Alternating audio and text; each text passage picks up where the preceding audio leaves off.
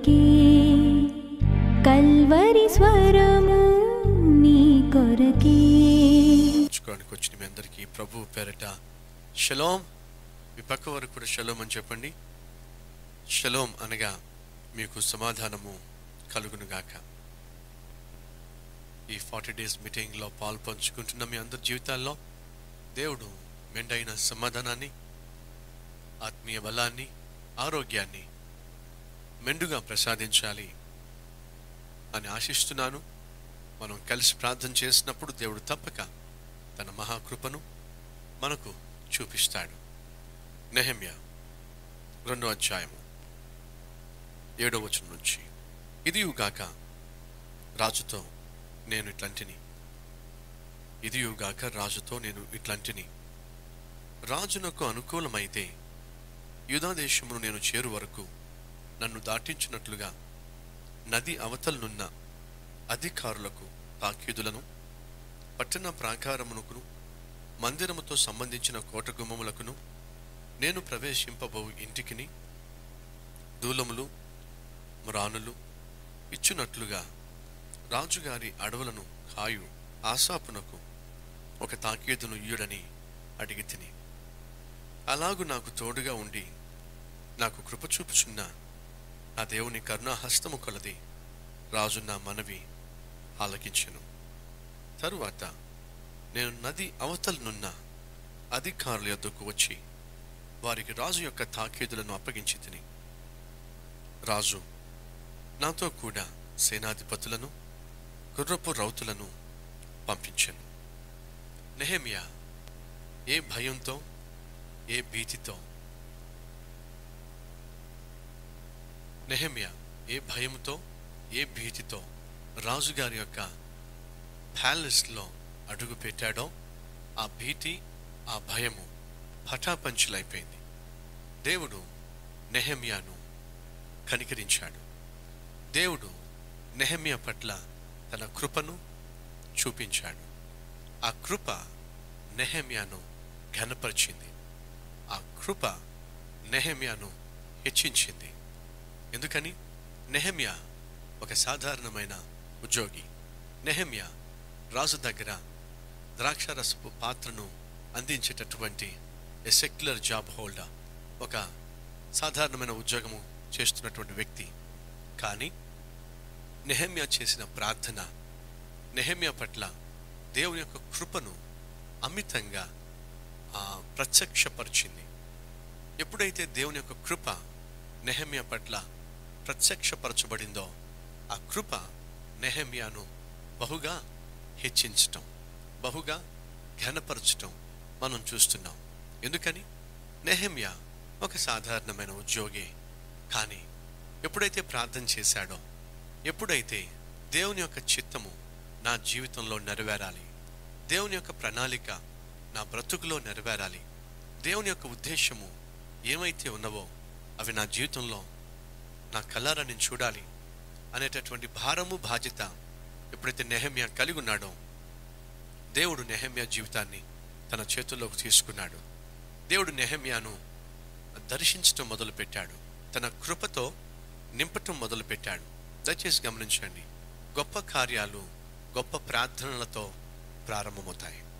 నెహమ్యా అంతకుముందు ఎన్నడూ కూడా ఇటువంటి దేవుని కృపను చూడలా. అంతకుముందు ఎన్నడూ కూడా ఇటువంటి భారంతో ప్రార్థన కూడా చేసి ఉండలా. అంతకుముందు ఎన్నడూ కూడా దేవుని యొక్క శక్తి ఎంత గొప్పదో ప్రార్థనా శక్తి ఎంత గొప్పదో బహుశా నెహమి అంతకుముందు ఎన్నడూ కూడా చూసి ఉండకపోవచ్చు. నెహమియా జీవితంలో ఒక నూతన అధ్యాయము ప్రారంభమైంది. నెహమియా ఇప్పటి వరకు ఒక ఉద్యోగి కానీ ఇక మీదట నెహమియా దేవుని చేతిలో ఒక విలువైన పనిముట్టు. నెహమ్య ఇప్పటి వరకు తన పని తాను చేసుకుంటూ వెళ్ళేవాడు. కానీ ఇప్పటి నుంచి నెహమ్య తన పని కాదు దేవుని పని చేయటానికి తనను తాను అప్పగించుకున్నాడు. నెహమ్య జీవితంలో ఒక నూతన అధ్యాయము నూతన ప్రారంభము మొదలైంది. ఈరోజు ఈ మాటలు వింటున్న నా ప్రియ సహోదరి సహోదర మన జీవితంలో ఒక నూతన అధ్యాయము ప్రారంభించబడిన దినము ప్రారంభించబడిన ఘడియ ఉన్నదా? ప్రశ్నించుకుందాం. పరిశీలించుకుందాం. మన జీవితంలో నూతన అధ్యాయం ప్రారంభించబడాలి అంటే అందుకు తగిన ప్రార్థన ఉండాలి. నెహమ్య తన జీవితంలో ఒక నూతన అధ్యాయాన్ని చూస్తున్నాడు. ఒక నూతనంగా దేవుని యొక్క శక్తి ఎంత గొప్పదో ఆయన హస్తము ఎంత కరుణ సంపన్న సంపన్నమైనదో ఆయన చేయగలిగిన కార్యాలు ఎంత విలువైనవో నెహమ్య చూడడం మొదలుపెట్టాడు. ఇంతకు ముందు ఎప్పుడూ కూడా అటువంటి ఆ స్థితి గుండా నెహమ్య వెళ్ళి ఉండలేదు. ఇప్పుడే నెహమ్య జీవితంలో ఇవన్నీ చూస్తున్నాడు. కారణం ఏమిటి? తాను చేసిన ప్రార్థన. సహోదరుడా సహోదరి నీ జీవితంలో ఎప్పుడైనా దేవుని యొక్క కృప కనికరము కలిగిన హస్తము ఎన్ని అద్భుతాలు చేయగలదో నువ్వు వ్యక్తిగతంగా చూడాలి అంటే నువ్వు కూడా నెహమ్య వల్లే ప్రార్థించటం నేర్చుకోవాలి. గొప్ప గొప్ప కార్యాలు గొప్ప గొప్ప వ్యక్తులు ఎప్పుడు చేశారో తెలుసా? వారు గొప్ప ప్రార్థనా జీవితాన్ని ప్రారంభించినప్పుడు. గొప్ప ఆత్మీయ క్రమశిక్షణను వాళ్ళు అమలుపరిచినప్పుడు వారి జీవితాల్లో అద్భుతాలు వాళ్ళు చూశారు. నెహమియా జీవితంలో ఒక నూతన అధ్యాయం ప్రారంభించబడడానికి కారణం ఏమిటి? తాను చేసిన ప్రార్థనే. ఇంచుమించు మూడు నెలల నుంచి నాలుగు నెలలు ఇంచుమించు నూట ఇరవై దినాలు నెహమ్యా ప్రార్థన చేశాడు. అడుగుతున్నాను మనలో ఎంతమందికి అటువంటి అనుభవం ఉంది? ఇంచుమించు సిక్స్ మంత్స్గా నేను ప్రతిదినం ప్రార్థన చేస్తున్నాను. ఇంచుమించు త్రీ మంత్స్గా ప్రతిదినం నేను ప్రార్థన చేస్తున్నాను. ఇంచుమించు వన్ ఇయర్గా ప్రతిదినం నేను ప్రార్థన చేస్తున్నాను. ఒకప్పుడు ప్రార్థన పరుణ్ణి కాదు. ఒకప్పుడు వాక్యం పట్ల శ్రద్ధ నాకు ఉండేది కాదు. కానీ ఎందుకో దేవుడు నన్ను దర్శించి ప్రార్థన పట్ల వాక్యం పట్ల శ్రద్ధను పుట్టించాడు. అప్పటి నుంచి నేను క్రమం తప్పకుండా ఒక క్రమమైన పద్ధతిలో బైబిల్ను చదువుతున్నాను. ఒక క్రమమైన పద్ధతిలో ప్రార్థన చేయటం నేను నేర్చుకున్నాను అని చెప్పగలటం గొప్ప సాక్ష్యం.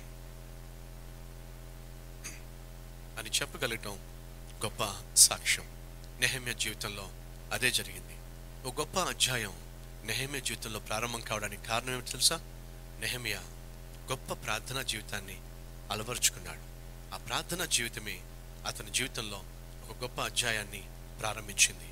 ఈరోజు ఈ మాటలు వింటున్న నా ప్రియ సహోదరి నా ప్రియ సహోదరుడా సాదా సీదా జీవితాన్ని నువ్వు జీవిస్తున్నావేమో? సామాన్యమైన జీవితాన్ని నువ్వు జీవిస్తున్నావేమో?